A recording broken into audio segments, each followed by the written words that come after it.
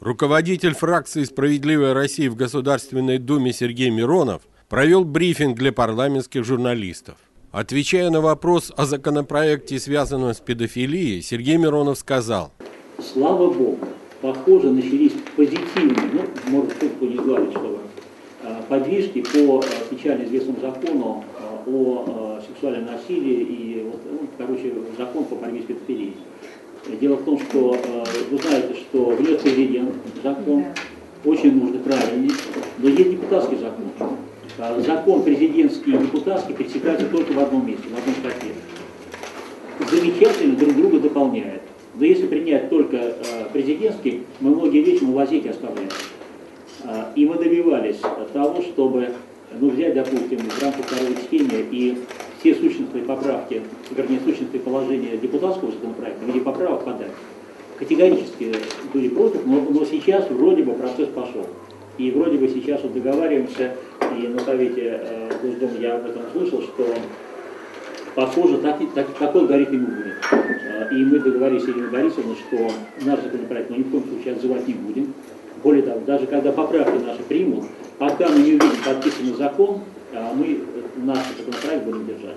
Сергей Миронов предполагает опубликовать свою предвыборную программу в конце этой недели и 31 января в Интерфаксе провести пресс-конференцию на тему будущего правительства. Размышляя о статье Владимира Путина о национальном вопросе в России, Сергей Миронов заметил. Я прочитал статью, э, понятно, к чему, к выборам Владимира Владимировича. Э, очень много дельных предложений. Но я не буду отсылать вас э, к своей статье в национальном вопросе тоже должна справедливость осенью прошлого года, но многие вещи понятно, в общем-то, мы государственники и здесь э, много общего.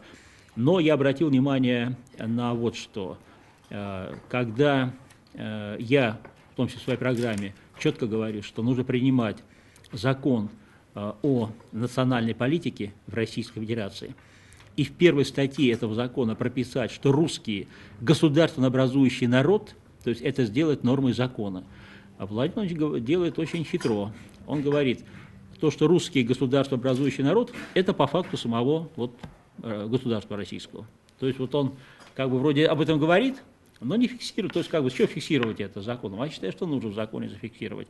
Ну и э, в этой же статье я увидел, что наконец-то на моей памяти после, по-моему, лет восьми или там семи, э, вот э, мои неоднократные обращения, предложения все-таки создать орган, в исполнительной власти, который бы занимался национальной политикой, вот, наконец-то, премьер э, считает, что да, это нужно делать. Недовольство людей назревает. И во что оно выльется, это вопрос. Больше всего разрушает нашу страну огромное социальное расслоение. Вот наличие двух Россий в нашем э, многонациональном государстве – это самая большая угроза. Две России, я имею в виду Россия бедная и богатая.